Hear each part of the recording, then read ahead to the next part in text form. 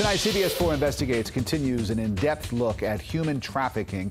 Politicians in the state of Florida often boast about their efforts to crack down on this modern form of slavery. That's Attorney General Pam Bondi. She ran campaign commercials promising to put the monsters, as she called them, behind bars. But do the results match all the hype? To answer this question, CBS 4 News partnered with the Florida Center for Investigative Reporting to look beyond the rhetoric and to examine the numbers. Here's CBS 4 investigator Jim DeFede. If a girl works in Wendy's and I take care of all the responsibilities and she hands me her money, am I pimping her? She handed me all her money. Am I pimping her? Right. Am I though? Alexander Valdez, known by the street name Daddy A Plus, is in fact a pimp.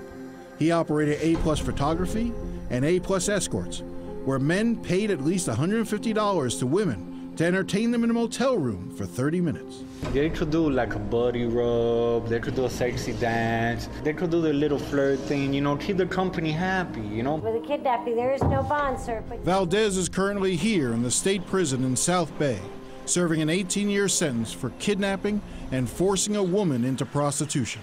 In recent years, the Florida legislature has passed a half a dozen new laws, supposedly making it easier to convict human traffickers like Valdez. They even created a statewide council on human trafficking. This is our logo, and we, we all seem to we love it. Florida Attorney General Pam Bondi chairs the council.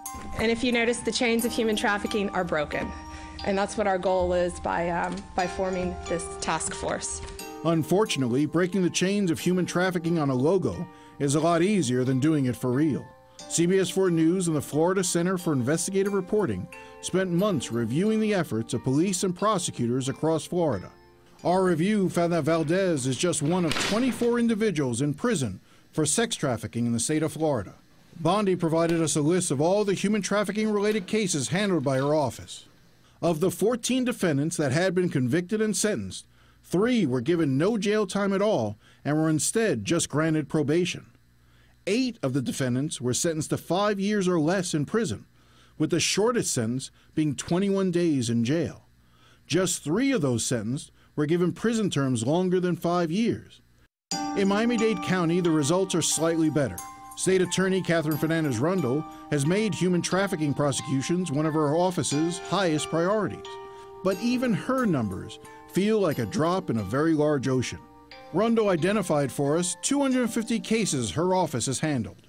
By early 2015, only 36 of those defendants went to prison, often on lesser charges, and at least a third of the cases were dropped or dismissed.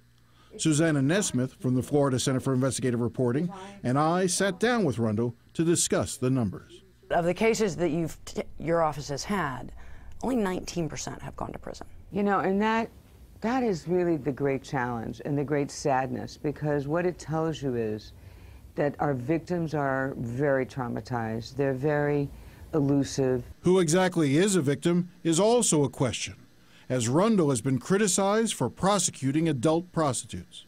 Activists say that the vast majority of prostitutes that are out on the street are being trafficked. They're victims. Well, you know, I wish those advocates would pick up the phone and call me and tell me exactly which women they're talking about and which streets because I haven't gotten any of those phone calls. Do you doubt what they say that most of the women out there are victims of some sort of form of trafficking? As I said to you, I'm not sure. Mm. Well, so, okay, so a lot of questions here. First of all, she's saying that the victims are so traumatized, and that is what prevents them from testifying, that, that could put these people away for longer sentences? Correct. That's one of the main things, is that the victims are traumatized and they're very, you know, a lot of these women come out of these human trafficking situations still bonding to their, to their kidnapper. Oh. You know, they want, they think of them as their boyfriend because it's the only person who showed them love. That's why one of the things that really needs to happen, if, uh, among the many things that could happen, is there needs to be more of a focus on providing support services to the victims. We do a great job in Tallahassee of trying to crack down on the criminal side of things, but when it comes to providing the resources to give support to these women who need it so that they can turn around and then testify right. against their attackers, that's where it's lacking. And that costs a lot of money, though. That's the rub. You know, if you want to really crack down, if you want to make human trafficking a high priority in the state, you got to put some money behind it as well. All right. Well, I'm glad that you're talking about this, and we'll continue to follow the story of human trafficking, which is such a major problem here in Florida and around the country. Jim, thank you very much.